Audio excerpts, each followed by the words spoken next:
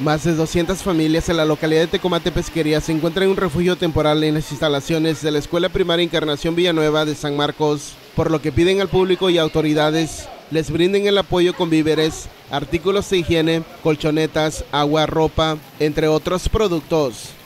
Que nos hagan favor de brindar el apoyo. Tenemos mucha gente de la Laguna del Tecomate, mucha gente que pues se ha quedado sin nada prácticamente y lo que importa es que están con vida, se les ha estado apoyando lo que se ha podido, pero sí requerimos de víveres, agua, eh, jabón, cosas este, de higiene, por favor, se lo suplicamos.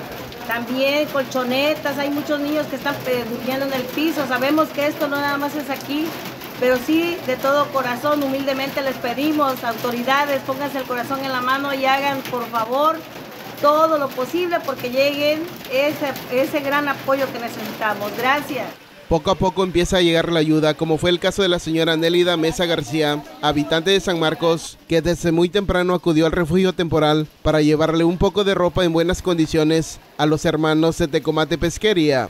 Vengan a apoyar a las personas que están damnificadas aquí en la escuela Encarnación y es pues Ahorita son de ellas y después mañana nosotros. Hay que hacer apoyos y, estar con ellas en estos momentos. Damnificados de Tecomate Pesquería indicaron que todo perdieron, cama, estufa, televisor, refrigerador, ropa, entre otras pertenencias. Víctor Manzanares, Romualdo, RTG Noticias.